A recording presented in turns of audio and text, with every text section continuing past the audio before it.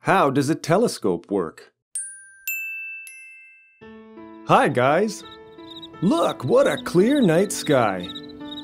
Have you ever wanted to see the stars and moon up close? Then we need a telescope.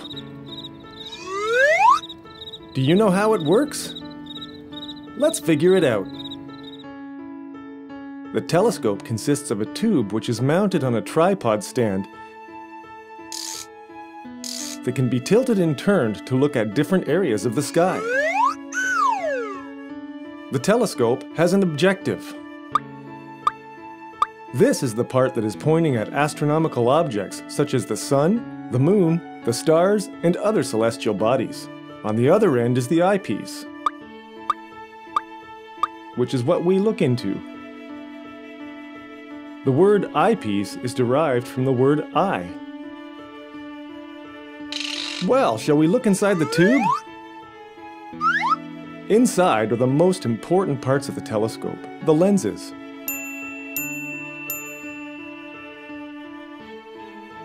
If you've ever viewed objects through a magnifying glass, then you already know what a converging lens is.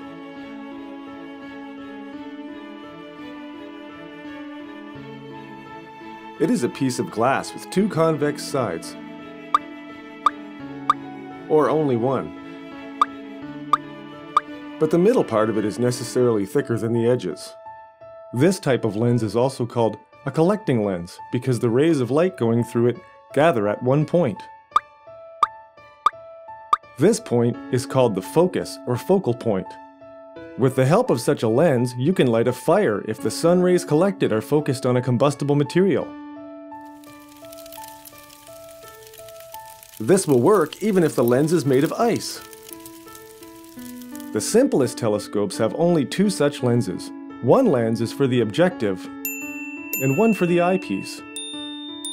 Rays of light coming from the sun, moon, or stars run parallel to each other. They pass first through the primary, objective lens and gather in focus. After passing through the focal point, the rays diverge again.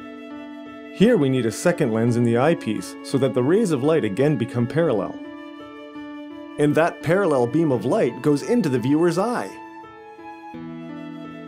As a result, we see an enlarged but inverted image of an astronomical object. But in space, there is neither top nor bottom, so the flip of the image does not interfere with observations. Now let's observe some astronomical objects in the telescope.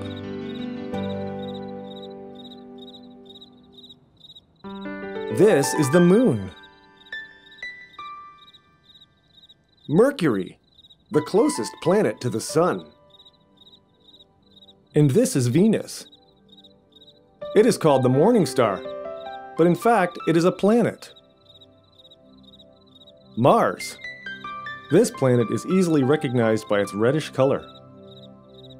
Jupiter,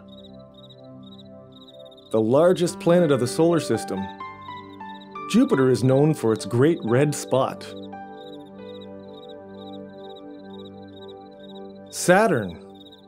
It is famous for its rings. Uranus. This planet has a blue-green hue. And the most distant planet is Neptune. It's blue. And here is a comet. Look at its luminous tail. And this is a star cluster. Well, guys, now we know how a telescope works and have learned more about several astronomical objects.